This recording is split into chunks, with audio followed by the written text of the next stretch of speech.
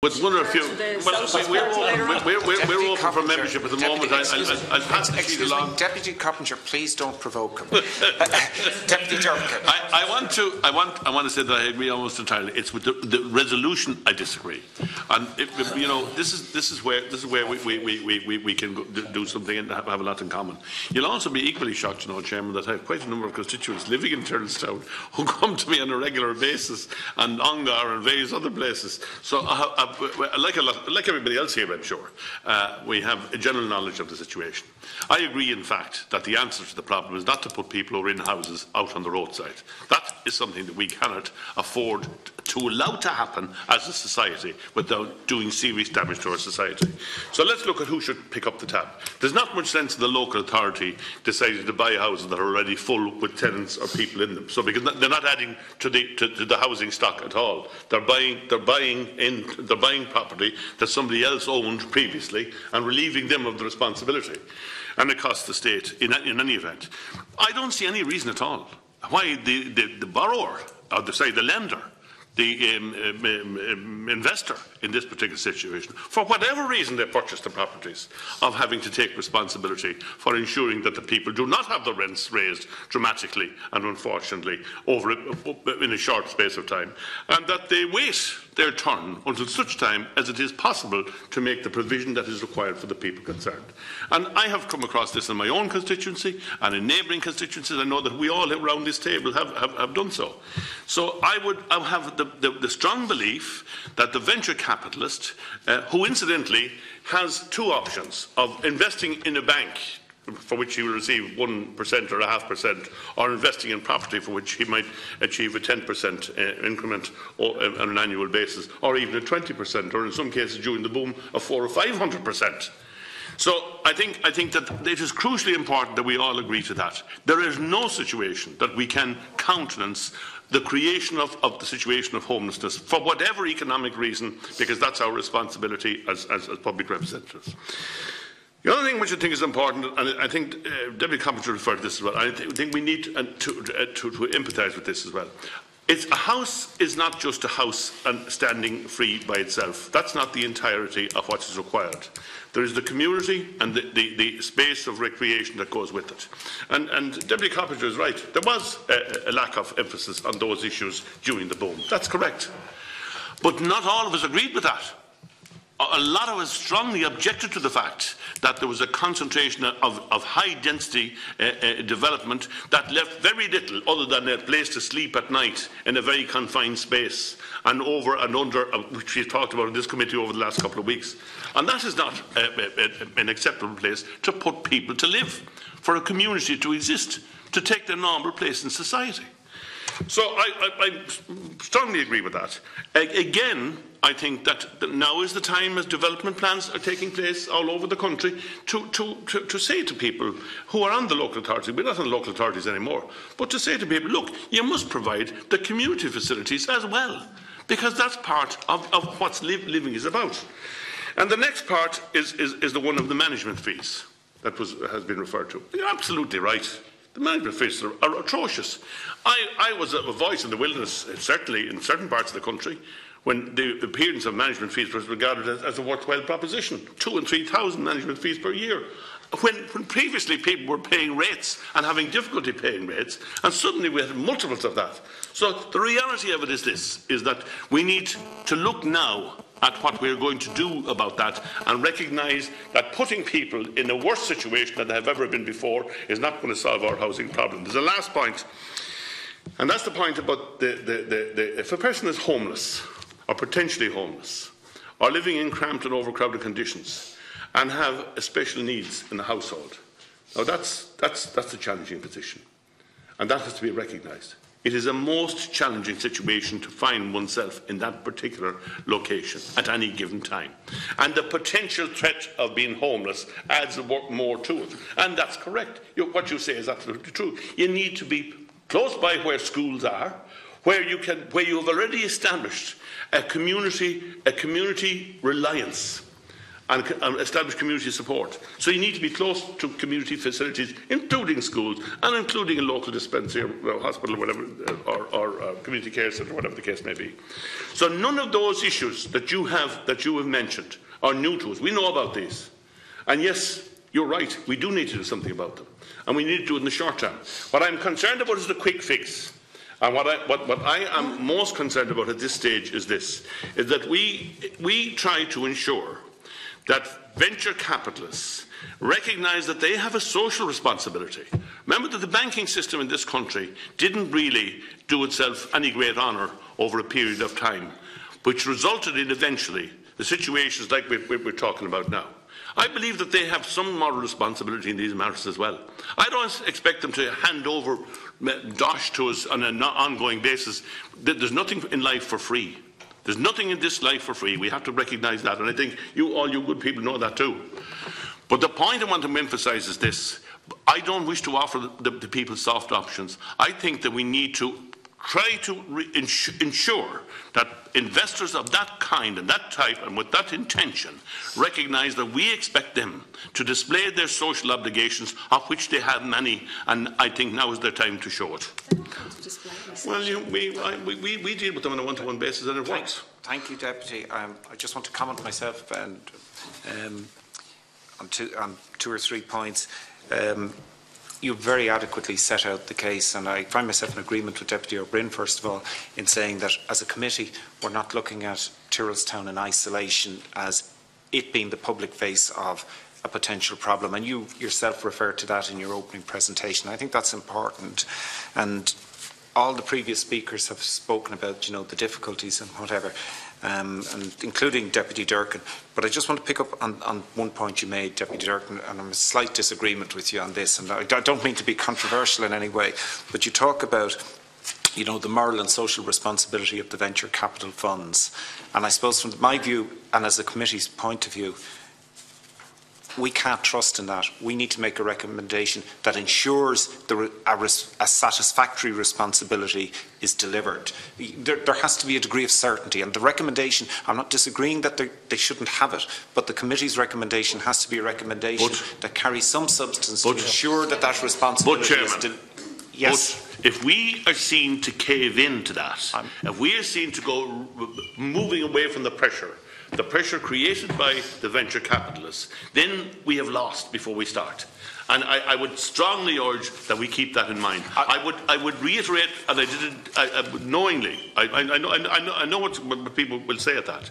I expect, I would expect, venture capitalists in that, those sorts of circumstances to recognise that they've bought a property under whatever conditions they bought it that there are people in situ already, and that those people have an expectation of remaining in situ for some considerable time until such time as the state or other agencies have time to resolve the problem. I, I, I want to emphasise, we may disagree on it, no. but I can assure you, I sat across the table from those same venture capitalists that you're talking about. I'm not disagreeing and we you, had a sharp exchange. I'm not disagreeing with you, Deputy, but I'm saying the, the, the, responsibility for the committee isn't just to rely on that, that we come forward with a recommendation to ensure sure that that happens. As That's well. the, the, the, difference I'm making.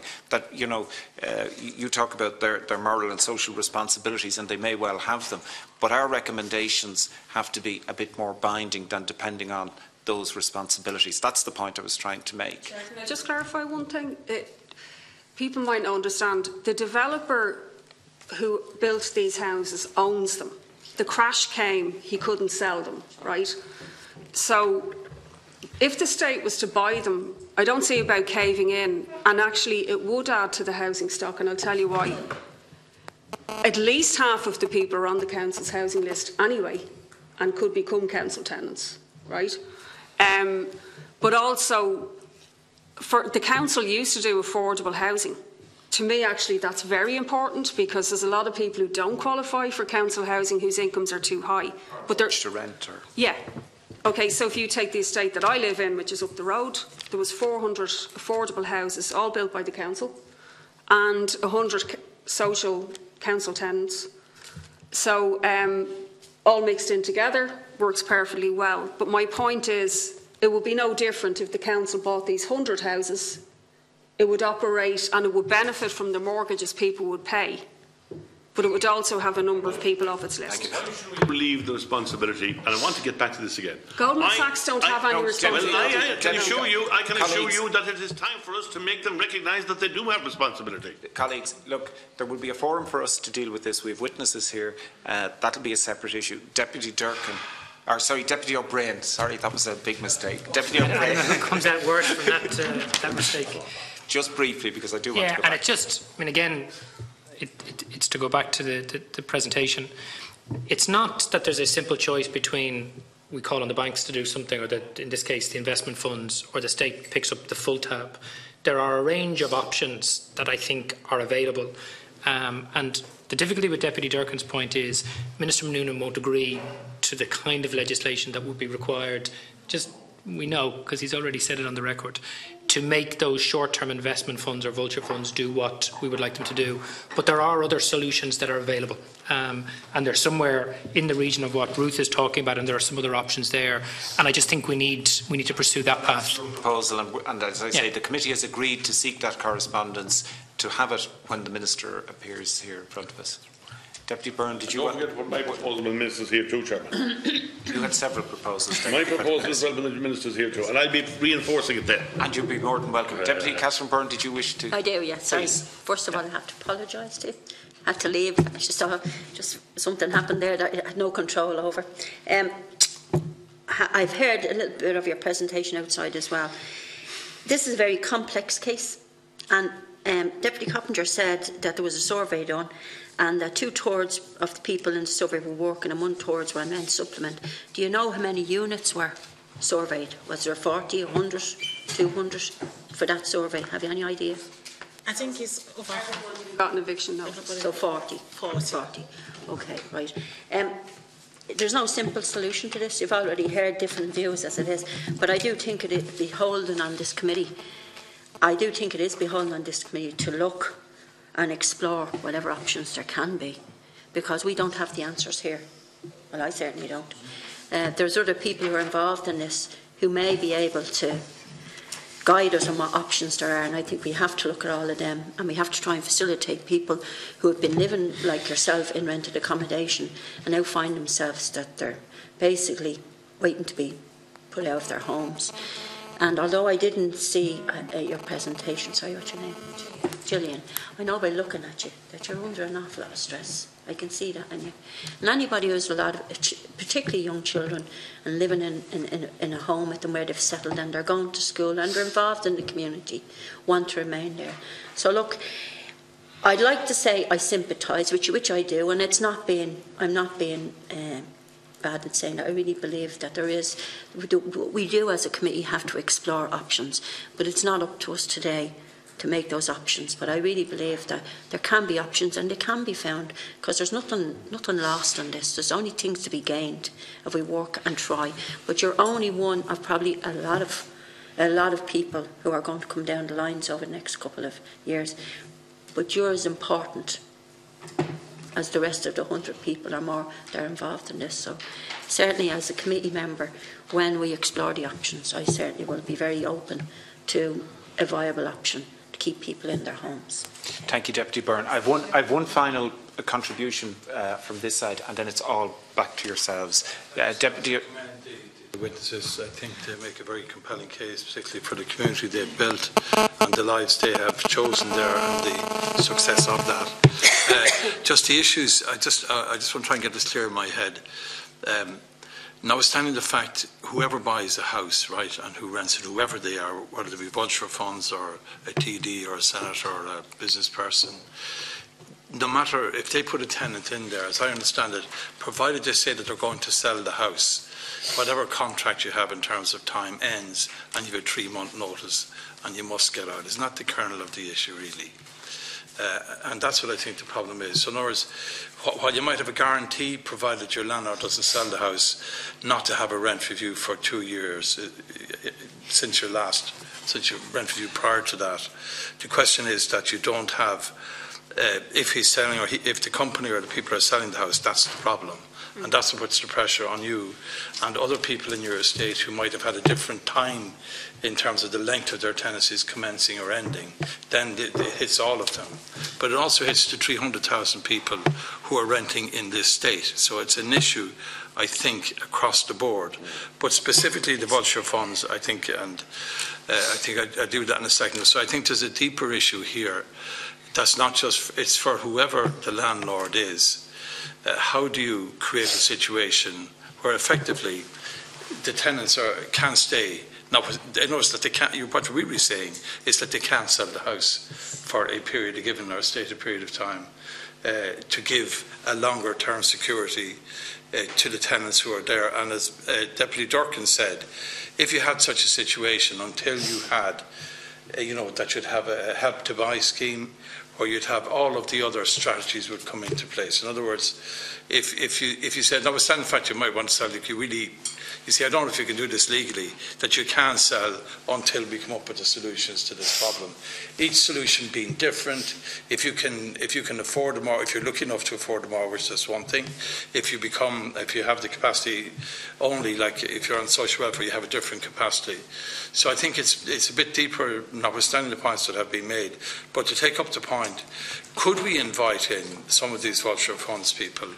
You know, just to see, look, ask Mr. Goldman Sachs and Co. You know, let's call him that, call him a personality rather than a conglomerate. Uh, well, why don't we ask these people in here and say, okay, come in here and tell us, you explain to us, you know, what, what's a solution for you?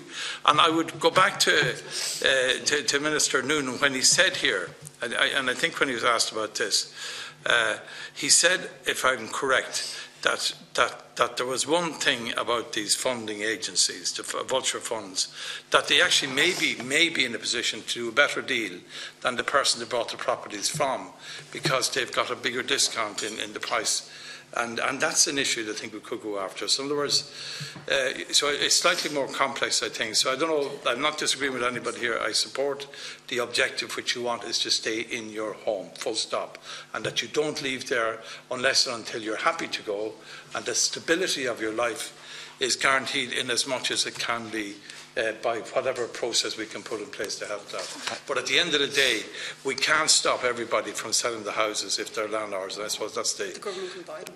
I know the government can buy, but it can't buy 300,000. there are a number of points. So you- if I can propose that, if, if it's an order, but I Sorry, think it's very, Chair, very... just clarify, the government is buying houses in Tyrrelstown every single day. The, the council's going up buying houses and housing council tenants in that area all the time. Well, I So, welcome that, Chair. so like now it has a chance to buy more. I have no, I've no, I've, I've no issue with that at all. What I'm saying is we can't buy the 300,000. Look, a number of points you've, you've clearly you've clearly identified that the issue is complex and there's more than one issue. And I suppose you talked then about the rights of people to sell or not. And it is unusual in the residential property market that units are sold with vacant possession. If you're selling a commercial unit and you have a rent roll, it's the rent roll that normally dictates the selling price. And that's a piece of work for the committee to look at in, you know, in our deliberations, and, and you rightly say that. At this stage of the proceedings, I want to hand back to the residents in any order, any of you who want to speak on any of the points. Most of us has taken this case to the PRTB. We have challenged the eviction letter, and almost six of us has found out the eviction letter is invalid, and uh, the landlord has breached a lot of contra- uh, contract not to fix the house. So we are taking this to just to buy a time for the government to come in. These are 40 families. This is not about tenants. We are one community. If you know Tyrrelstown very well, everybody are one. So we're just appealing to the community today. We are grateful for inviting us in today to present our case. We want you to look into it. Almost 90% of the 40 families are working. We only have a very low number on those on housing allowance. So we are appealing today for us to come up to it an affordable mortgage to keep us in our community, in our homes, where we belong, so we can move off, move on with our life and carry on with our jobs that we do in our community. Thank you very much. Could, Please, yes? like, could the buying from the developer, the people within the house, can they buy from the developer? There's only one thing that's stopping them from not buying. Like, they're able to pay 1500 back a month in mortgage or in rent. So if there was some plasma agreement to come up maybe with the bank and the developer that they could buy them, after, in saying that some of the houses down there cost 550,000, but I don't know what they're, is it 200 and something thousand now? So could they, instead of the venture funds buying them, could the residents, the people that's working and, and, and the council, could afford, could they buy them off the developer for the standard price, the, the rate that they're going at? And the, Approval is the problem. Yeah, most of us Yeah, but the banks would have to, us- the mortgage, say for the mortgage, they wouldn't have a deposit like, and they wouldn't have, Yeah. could there be something that you could look into with the banks? To, Yeah. to, to be helpful, we don't know that, but I think some of those proposals that Deputy Ó Broin referred to in terms of the, the housing agency may have been proposals and we will try and see those. Um, Yeah, Most of us are not mortgage approvers. Like you see, we're paying a very high rent. I'm paying fourteen hundred fifty for a three-bedroom house. It is difficult for me to save up for a deposit. You are looking around twenty to thirty thousand euro. With my husband, a taxi driver, I'm a care assistant. So all the money we make, we're giving it back to the landlord. So we have nothing left. So that is why we are appealing today, for them to look into this proposal to find a solution. And again, they should look into the, the rate of the house.